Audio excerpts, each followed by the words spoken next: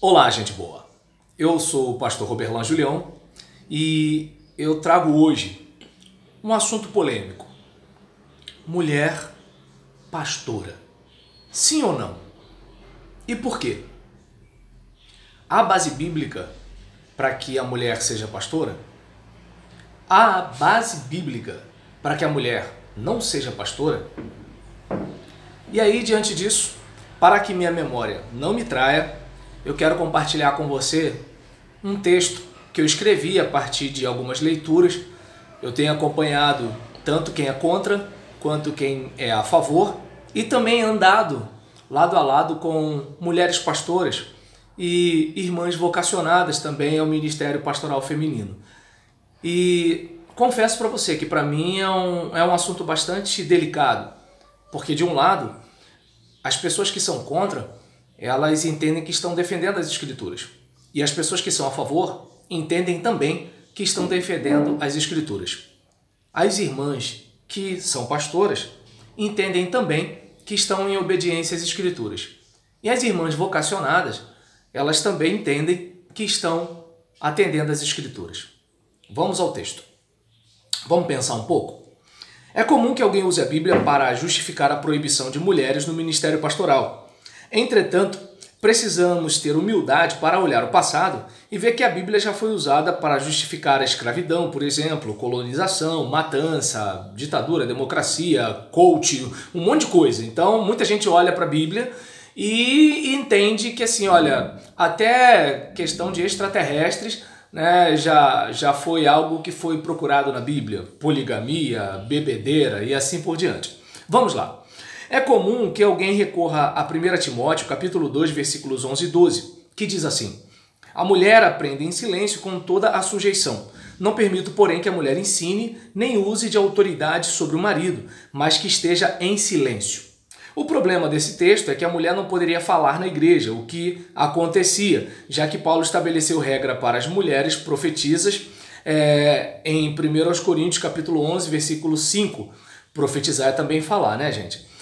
Outro problema está relacionado à sujeição, pois em Efésios, a carta tradicionalmente atribuída a Paulo, capítulo 5, versículo 21, lemos que sujeição na igreja é sujeição mútua. Se você olhar lá para Efésios capítulo 5, versículo 21, você vai ver sujeitando-vos uns aos outros.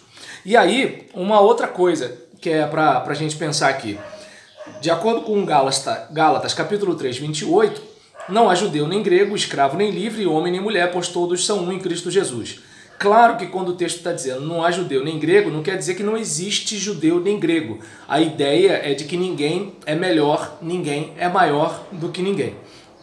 Todos são iguais e ninguém é melhor do que ninguém, devido às diferenças.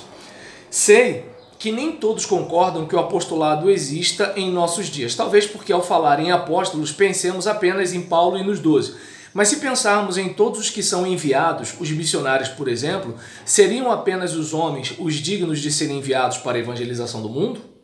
Se pensarmos em profetas no mesmo nível de Isaías e Jeremias, em vez de pensarmos como porta-voz do Senhor, entendemos que não há mais profetas. Mas se entendermos que nossos filhos e nossas filhas profetizarão, proclamarão, serão porta-voz da mensagem, restringiremos este ministério apenas aos homens? Apenas os homens podem ser profetas do livro aberto?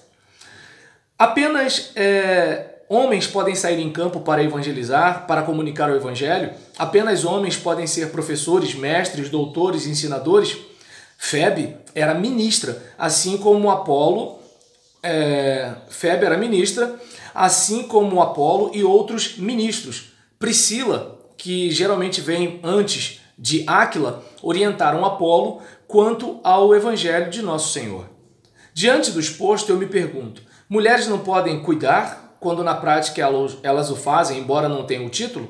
Talvez alguém diga: a Bíblia não diz literalmente que é para a mulher pastorear. Tá, mas a Bíblia também não diz literalmente que a mulher não pode cobiçar o homem da próxima. Entretanto, ao fazermos a ponte entre o mundo da Bíblia e o nosso mundo, fazemos inferências e contextualizações.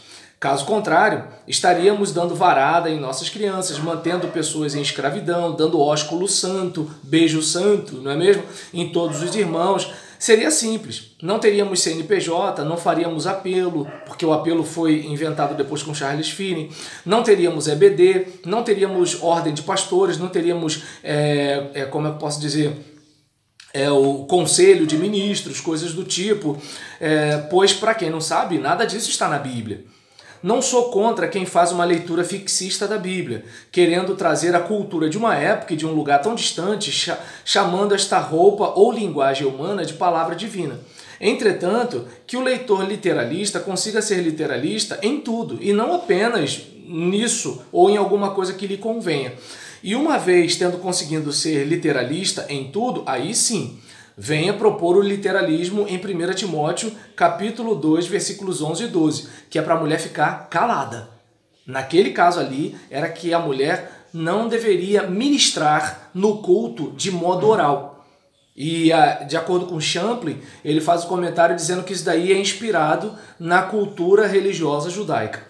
Vamos lá. Sempre que alguém me questionava a respeito do ministério pastoral feminino, eu era indiferente. Afinal, hoje os pais não dão varadas nos filhos, os crentes são contra a escravatura, as pregações têm apelo, damos a paz do Senhor em vez de dar beijo santo nos irmãos. Né? Então, diante disso, é, eu entendo que algumas coisas é, é, que não estavam na Bíblia a gente hoje usa e algumas coisas que estavam na Bíblia a gente não usa, porque existem questões culturais que ficaram lá e existem questões é, que não estavam lá que são extra-bíblicas, mas não são antibíblicas. Daí onde está o questionamento.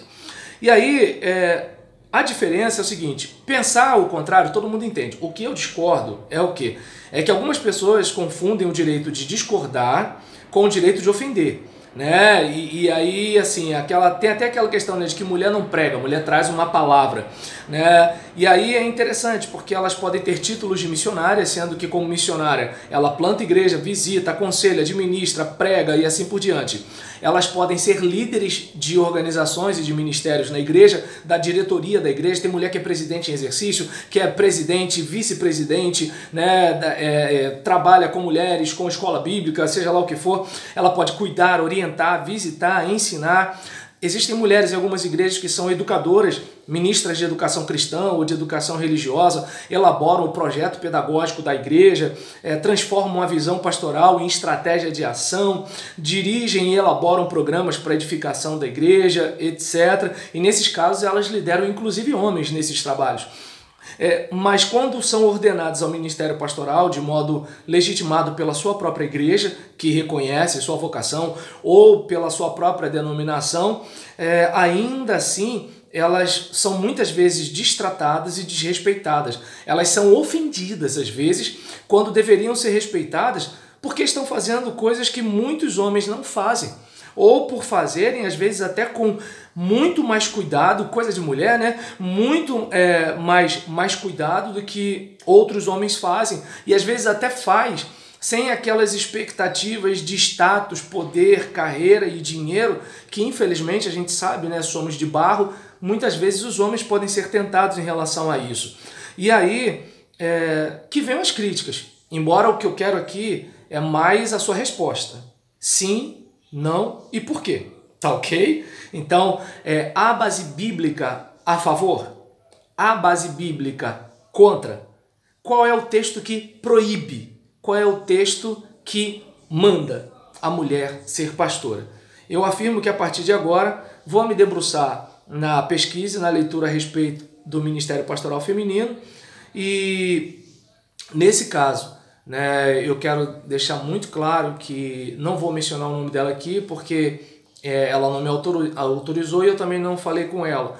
Mas o motivo de eu começar a me interessar nesse caso é porque uma pastora, amiga minha, gente boa, é, comprometida com a, a igreja, pastora de igreja, cuida de gente, é, pregadora, trabalha na, na denominação, então é uma pessoa muito 10, muito legal, muito do bem, não é brigona, não é rebelde, respeita a, o, o seu marido tremendamente, né? E eu já vi muito, mas muito mesmo, ela sendo criticada. Eu dedico a essa irmã, minha líder, minha colega, minha pastora.